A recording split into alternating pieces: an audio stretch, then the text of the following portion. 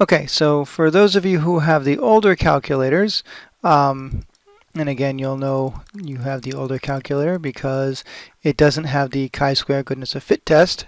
Um, I'm going to show you how to do this problem in another way. Um, so we're going to go to stat and edit. We're going to put in the information. So since these are percentages, this is the um, distribution that they're looking at. We need to have that in there. So, and remember they're percentages. So 31.3 divided by 100. 56.1 divided by 100. 2.5 divided by 100. 10.1 divided by 100. So we want to make sure that these are in decimal format. Okay, so that's what we're putting in L1. In L2, we are going to multiply that by how many people uh, we were surveyed, so our N. So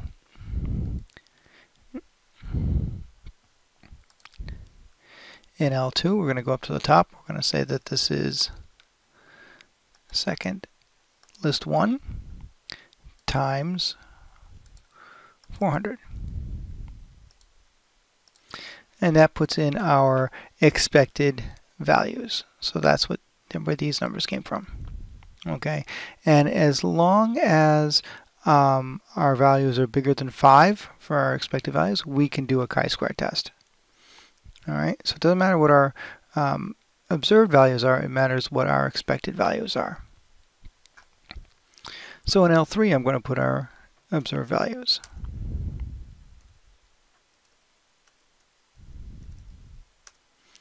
Okay. So now I have these two. What I need to do is um, there's actually let me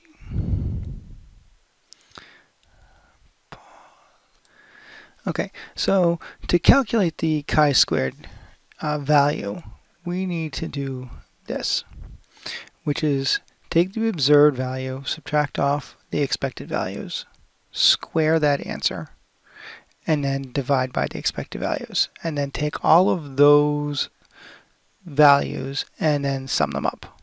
Okay, so um, what we're going to do here is we're going to subtract these. So in L4, I'm going to say that this is L3 minus L2, my observed values minus my expected values and I'm going to square them. So, parentheses, L3 minus L2, close parentheses, squared. The reason we square them is it gets rid of the negatives. Okay, because obviously 3 minus 10 is negative 7. And we don't want that, especially since we're going to add them up. Now in L5, I'm going to take my values in L4 and I'm going to divide by my expected values, which were in L2. This gives me this piece right here. Okay, now I have to take those numbers and add them up. So to do that, I have my column here. I'm going to quit my statistics. I'm going to go to um, list, which is above statistics, second stat. And I'm going to go over to math. And now notice I have a thing called sum. And I'm going to sum up my values that are in L5. That gives me my test statistic. Okay, so I've calculated my expected frequencies. The null and alternatives are always the same. So the null hypothesis is that the distribution fits my observed values and it's right. The alternative is that it does not fit and therefore it is probably mistaken. The degrees of freedom are one fewer than how many items I have. So I have four groups. 4 minus 1 is 3. And this here is how uh, we put out the distribution chi squared with the degrees of freedom of 3. What is our test statistic? Right here, we just calculated that. So now we have to find the p-value. So to get that, we have to go to distributions. And we're going to go down to chi-squared CDF. And our lower value is this test statistic, 16.57. Our upper value is infinity, 1 e to the 99th. I know we haven't done this in a long time. And degrees of freedom are free. 3, not free. All right, so our lower value is our test statistic, and it's going to go all the way up to positive infinity. Our degrees of freedom, and we go to paste,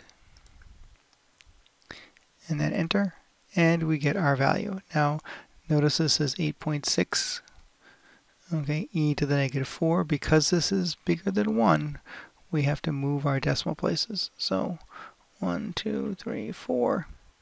That's how we get this value here of 0 0.0009 because 86 rounds up to 9. And that's the probability of getting this test statistic if the null hypothesis was true.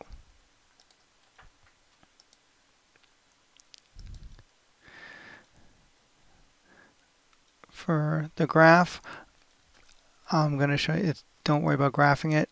You're always going to have, it's always going to be a greater than, so it's always going to be the p-value is here, and we're shading to that side no matter where our p-value is. It's always on the greater than side because we went from 1657 to infinity, so that's what we're shading in. So that's why we chose that one. Our alpha was point was 5%. So alpha is 0.05. And what are we going to do with that? Well, because our alpha is bigger than our p-value, we reject. So therefore we decide to reject the null hypothesis. And what does that mean? It means that there's enough evidence to conclude that this distribution is probably incorrect.